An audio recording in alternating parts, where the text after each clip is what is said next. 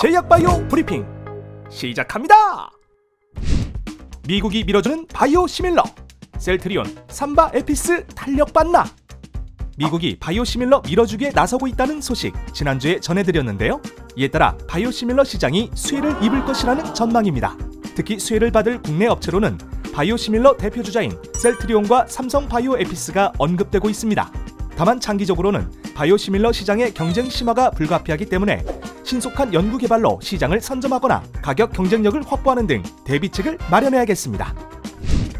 EU와 2억 회분 계약에 노바백스 관련주 동반 상승 SK바사, 디알젬, 켐온 미국 제약기업 노바백스가 유럽연합과 백신 공급 계약을 체결했다는 소식에 SK바이오사이언스, 디알젬, 켐온 등 관련주가 강세를 보이고 있습니다.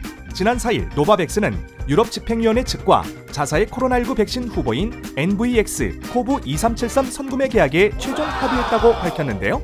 SK바이오사이언스는 지난해 8월 노바백스와 백신 위탁 생산 계약을 체결해 현재 노바백스 백신 시생산 중에 있으며 켐온과 디알젬도 노바백스 관련주로 거론되며 주가가 상승하고 있습니다.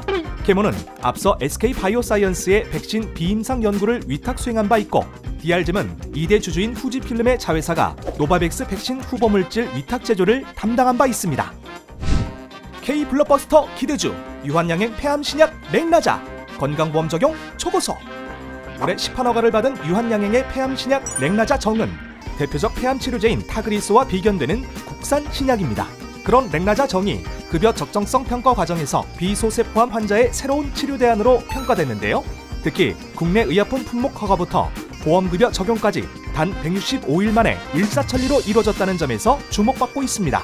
대한항암요법연구회, 대한암학회, 대한종양내과학회, 대한폐암학회 등 관련 학회는 랭나자는 기여가 된 타그리스와 비교해 유사한 효과를 보였고 낮은 심장 독성 위험과 수용 가능한 안전성 결과를 입증했다며 타그리스를 충분히 대체할 수 있을 것으로 기대한다고 의견을 모았습니다. 백신값 인상 소식에 국내 바이오주 들썩 미국 제약사 화이자와 모더나가 코로나19 백신 가격을 올리자 한국 바이오주가 반등하고 있습니다.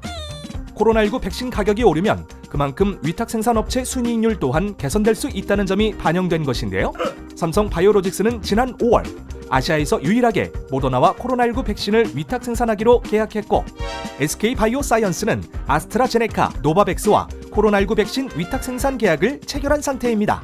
이에 대해 한 증권사의 연구원은 올해 4분기부터 바이오 기업들이 그동안 축적한 임상 데이터를 일부 발표하고 내년부터 바이오 산업 전반으로 기대감이 반영되면 주가 회복의 계기가 될 것으로 진단했네요.